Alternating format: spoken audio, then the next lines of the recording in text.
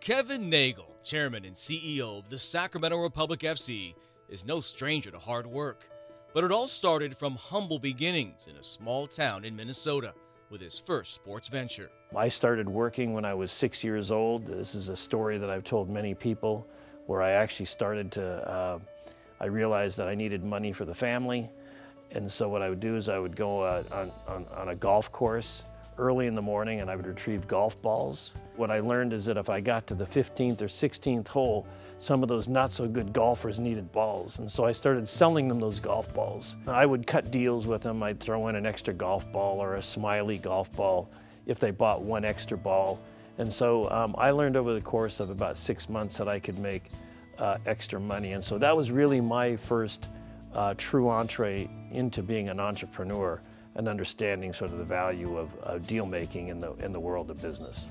Kevin's drive and determination led him to start and sell many successful businesses, but he never forgot his humble beginnings and the importance of helping others. Giving back to the community is sort of the mother's milk of uh, success, and, and, and to me, you're really not complete unless you, you give back to the community.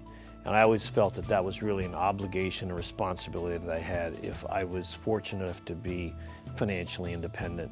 And it's easy to, and it's a joy to.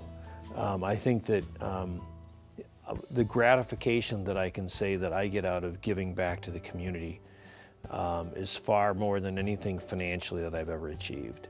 And so um, that has stayed with me, I think, when I was a young child because sometimes we were the recipient receiving assistance and on the other end, um, now it's just a fantastic and, and liberating feeling when you can see that you've helped somebody. Kevin has made sure that helping others is one of the leading principles for the Sacramento Republic FC, including making a dream come true for a young cancer patient. So what we did uh, with this young man, I think he was 15 years old, is what we did is we literally took him through the process uh, as though he was a professional soccer player. We made sure that he was eligible and that the league accepted him, and then we put him on our roster. He went through all the practices, and then the next step is that he actually got into a game and played under the USL rules, and, and he did score a goal. And it was really just a fantastic experience because everybody really within our organization got involved. So when I say that um, we're more than a, a, soccer team. It's because of things like that, getting involved in the community in these small ways, which I really believe are big ways.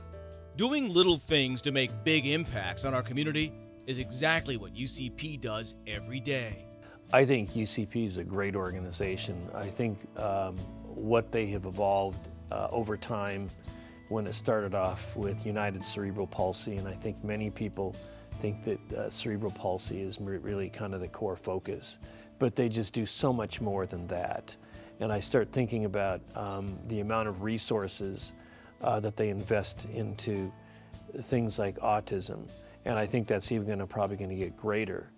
Um, I was just really awestruck by how diversified and how many people they touch in our region.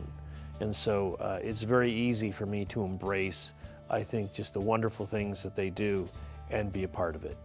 For his continued leadership and commitment to our community and Northern California, UCP of Sacramento and Northern California is proud to honor the 2019 Humanitarian of the Year, Kevin Nagle.